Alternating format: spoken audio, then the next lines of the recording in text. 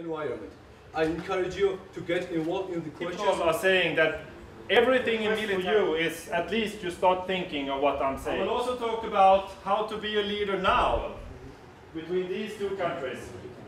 So we have some similarities, Georgia, because what happened was that also these countries got independent and own people, very up north, a mix of different types of people. It was the border between West, something about light infantry and ranger, but I worked at HQ and strategic level, but mostly I was always ongoing.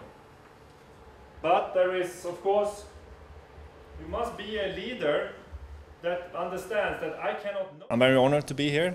Uh, it has been a great experience uh, due to the fact that Sweden and Georgia now has a uh, agreement that we are to support each other uh, in this uh, academy. So I'm very happy to be here and, and giving the lectures about leadership uh, from my from my experience as working in multinational environment. დღეს აკადემიაში სტუმრად ყავდა შვედეთიდან ვიცე-პოლკოვნიკი მატიას ჯავარი, რომელმაც იუნკრებს წაუკითხა ლექცია ლიდერობაზე, ლიდერობა სხვადასხვა გარემოში. ლექცია საკმაოდ საინტერესო წარიმართა, იუნკრები ჩართულები იყვნენ, რაც გამოიხატა კითხვებით. ლექცია მიმდინარეობდა კითხვა-პასუხის რეჟიმში.